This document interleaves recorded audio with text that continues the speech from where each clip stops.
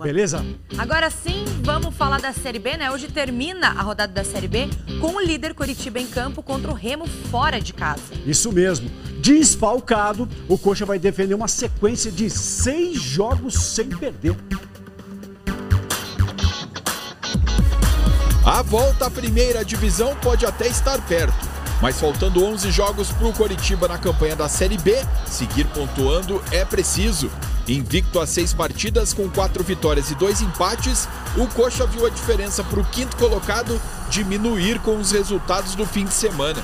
Hoje, no fechamento da rodada contra o Remo, em Belém, a vitória faz a diferença para o primeiro time fora do G4 voltar aos confortáveis oito pontos. A atual ótima situação no campeonato nem de longe lembra os momentos de pressão vividos após a eliminação precoce no estadual e o início ruim na Série B. O trabalho sempre foi, desde o começo, foi voltado à, à Série B para que a gente pudesse conquistar o acesso, né? E, então, o Campeonato Paranaense, independente do, de não, da gente não ter conquistado foi uma experiência que a gente que serviu para que a gente amadurecesse mais rápido para começar uma série B que é muito complicada.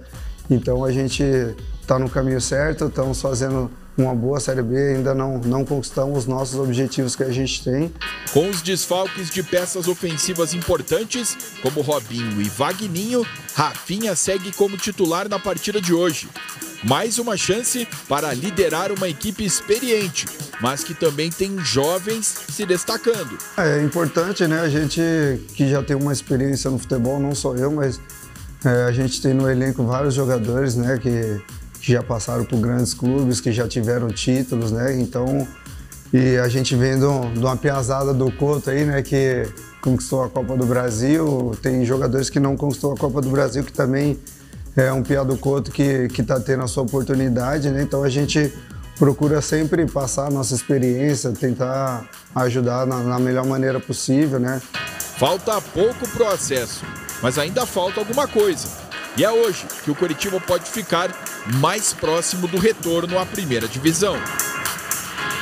3 a 0 hoje. Boa, ETzinho. Opa, Olha, tá muito otimista, gostei. É. Bom, o Coritiba, como a gente viu ali na matéria, então, né, não vai ter Henrique Robinho e o reserva Vagninho vai pro jogo hoje. Provável escalação: Wilson, Natanael, Wellington Carvalho, Luciano Castan e Guilherme Biro, William Farias, Val, Rafinha, Guilherme Azevedo, Igor Paixão e Léo Gamalho. Lembra que a gente falava assim? É o Wilson mais 10? Hum. Agora esses 10 têm nome. Mudou, né? Torcida sabe de cor. É, exatamente. Gamalizados, né? Todo mundo gamalizado. Gamalizado. Gamalizado.